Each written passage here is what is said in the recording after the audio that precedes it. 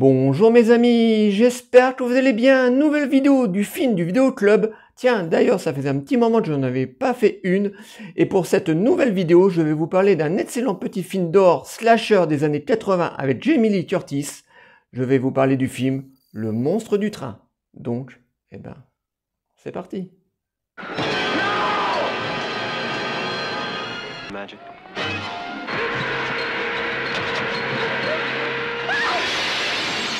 Last big college party.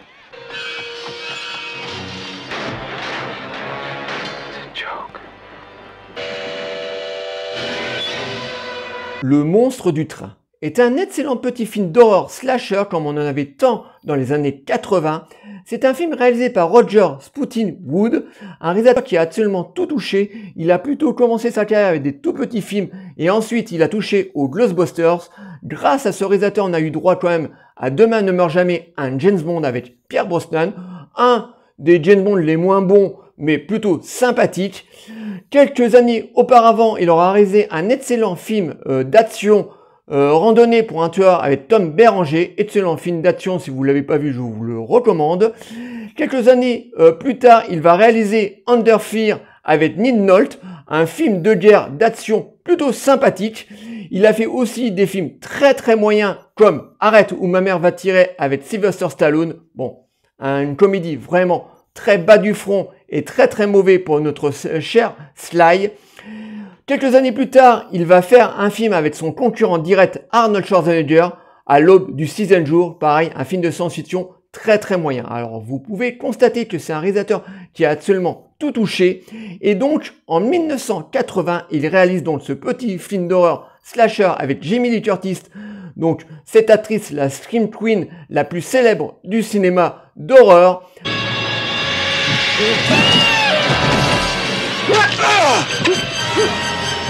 C'est un slasher assez classique au niveau de son histoire qui ne sort pas des sentiers battus de beaucoup de slashers réalisés dans la même période. Donc nous suivons les aventures d'un petit groupe d'étudiants qui ont décidé de fêter leur diplôme de fin d'année dans une fête. Au début, la fête se passe plutôt bien, jusqu'au moment où ce groupe d'étudiants vont décider de prendre en grippe un de leurs camarades, un étudiant timide et introverti. La blague sur cet étudiant va vite se, euh, se dérouler en catastrophe, ça va même pousser l'étudiant dans un hôpital psychiatrique. Ensuite, le film va faire un bond dans le futur, deux ans plus tard, où on va retrouver ce même groupe d'étudiants qui vont être heureux de se retrouver. Ils vont même décider de fêter ça dans un bal costumé à l'intérieur d'un train. Donc ils vont tranquillement monter dans ce train qui va se mettre en route. Au début, ce bal costumé va très bien se passer et c'est à ce moment-là qu'un tueur fou masqué va décider de se mêler à eux et il va les désinguer les uns après les autres. Oh.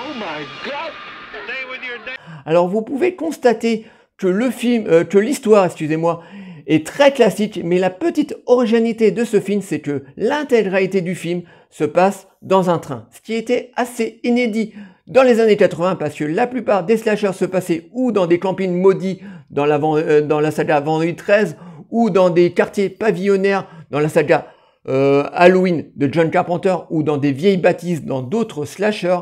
Là, l'intégralité du film se passe dans un train. Alors le train, vous savez très bien, est tout en longueur, voilà, dans des wagons assez resserrés et ça marche vraiment très très bien. Donc on a ce tueur en série qui va rentrer euh, dans ce train, encore une fois, c'est un tueur en, euh, série qui est mutique comme ses confrères euh, Michael Myers ou Jason, voilà, qui ne parle pas, mais c'est un tueur qu'on arrive très très mal à détecter parce qu'il est en permanence en train de changer de costume. Let's go get some champagne.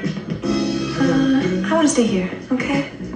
Enjoy yourselves. Thank you. Comme le film se passe dans un bal costumé, il tue ses victimes et à chaque coup qu'il tue ses victimes, il leur vole leur costume. Donc il est en permanence en train de changer de visage et c'est ça aussi qui donne du sel au film. Alors au niveau de sa réalisation, c'est une réalisation assez classique comme beaucoup de slashers de ces années-là.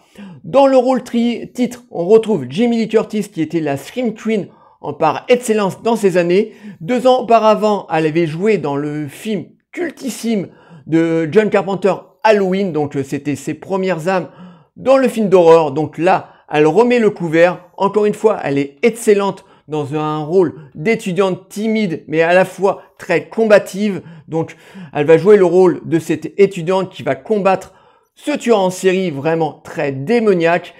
Donc elle est excellente.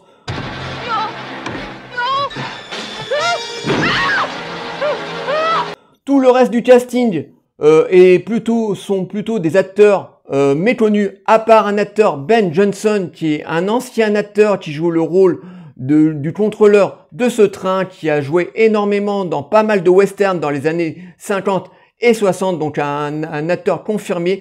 À part lui et Jamie Lee Curtis, tout le reste du casting sont des, euh, des, des, jeunes comédiens des années 80 qui auront joué euh, dans pas mal de films d'horreur, mais pas de grosses têtes d'affiche.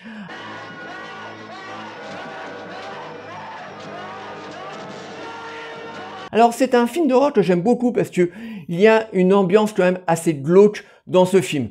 Surtout au début de son film là, où on voit ce groupe d'étudiants comme ça qui s'en prennent à leurs euh, jeunes camarades, dont ce jeune étudiant euh, timide et introverti qui a rien demandé, qui va se retrouver dans une très mauvaise blague, qui va se, euh, qui va se transformer en catastrophe. Ça va même pousser ce jeune étudiant qui n'a rien demandé dans un hôpital psychiatrique. Donc, dès le début du film, on se doute un petit peu qui se trouve derrière le masque, parce que voilà, on éventre un petit peu, mais c'est pas là où le film est vraiment le plus intéressant, c'est vraiment au niveau de ce, le caractère de ce tueur, voilà, ce caractère euh, de ce tueur, donc déjà qui est mutique, comme euh, la plupart de ses grands confrères que je vous ai cités, mais il change en permanence euh, de masque.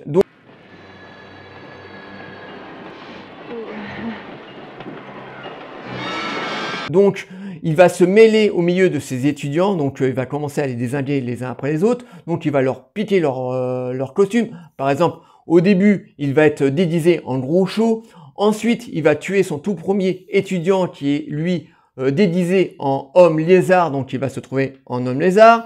Ensuite, il va tuer un autre, euh, étudiant où euh, il va revêtir le, costume d'un homme du train. Donc il est en permanence en train de changer de visage. Donc ça va donner du, du vraiment de beaucoup de difficultés aux étudiants pour le détecter et bien entendu, à la fin du film, euh, c'est Jamie Curtis qui va le combattre. On a droit à un, trop, très bien, un très bon euh, climax, bon, très très court, mais très très bon climax.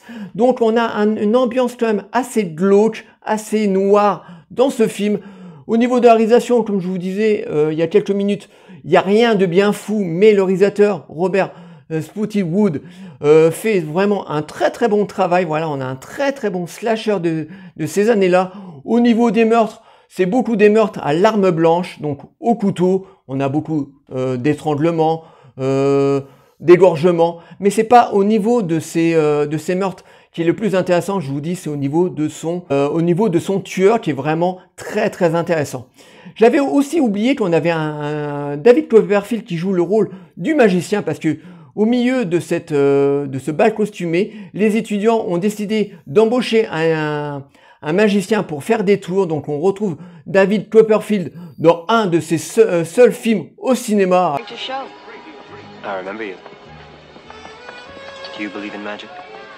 Alors, je peux pas dire qu'il soit un très très bon acteur parce que ce, voilà, ce n'est pas son rôle. Voilà, à la base, lui, c'est un magicien euh, de télévision donc on euh, on peut pas dire que ça soit euh, une très grande prestation qu'il nous fait, mais voilà, on a un tout petit rôle de David Copperfield. Sinon, à part euh, Ben Johnson, Jamie Curtis et David Copperfield, comme je vous dis, je me répète, on n'a pas de grosse tête d'affiche, mais c'est un excellent petit slasher, très connu des amateurs de films d'horreur. Je pense que vous, qui ont, qui ont à peu près le même âge que moi, vous le connaissez tous. Moi, je l'ai découvert euh, quand j'étais ado dans une VHS toute pourrave que j'avais acheté euh, pour, euh, pour 5 ou 6 francs à l'époque, oui. Les cassettes vidéo ne coûtaient pas cher. Bon, c'était édité sur un tout petit éditeur. Mais c'est comme ça que moi, je l'ai découvert et j'ai dégusté ce film vraiment. C'est un excellent petit slasher, un petit peu différent des autres. Bon, je vous dis, hein, l'histoire est très très classique. On a encore droit à un tueur mythique qui vont dessouder des petits jeunes, mais c'est vraiment un film qui est excellent. D'une part, par son tueur, mais aussi par son euh, ambiance, ce, son ambiance qui se passe dans ce train, dans ce magnifique train à style Orient Express. Voilà, Jamie Lee Curtis est excellente dans, dans son rôle de Screen Queen. Voilà, on peut pas lui enlever qu'elle est vraiment excellente.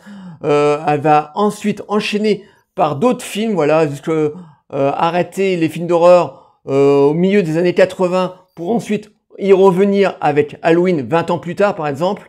Donc on est très heureux de, la retrouver dans ce genre de film. Donc je ne peux que vous conseiller ce excellent petit slasher où on a droit à une dizaine de meurtres, bien graphique quand même. Hein. Voilà, on a droit quand même un tout petit peu de sang. Bon, c'est pas bourrin comme dans la saga Halloween ou Vendredi 13. Voilà, on a beaucoup de meurtres à l'arme blanche, donc beaucoup d'étranglements ou d'égorgements, mais on a droit quand même à de très très beaux euh, mise à mort. Donc je ne peux que vous conseiller cet excellent petit slasher des années 80, très bien, euh, très connu euh, des, des, amateurs de films d'horreur, donc qui est très très bon. Voilà, donc allez le trouver sur des plateformes. Donc je sais que on a eu droit il y a quelques années dans une édition DVD, donc on peut le trouver facilement dans des boutiques comme Easy Cash en d'occasion. Donc si vous le trouvez un 1 ou 2 euros, franchement, prenez-le, vous allez voir, c'est un excellent petit slasher des années 80 avec une ambiance très glauque,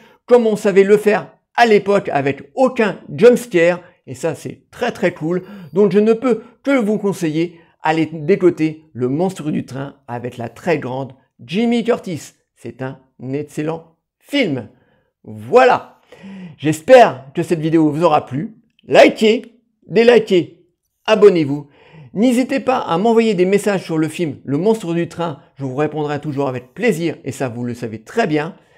Et je vous dis à très très bientôt. Ciao les amis.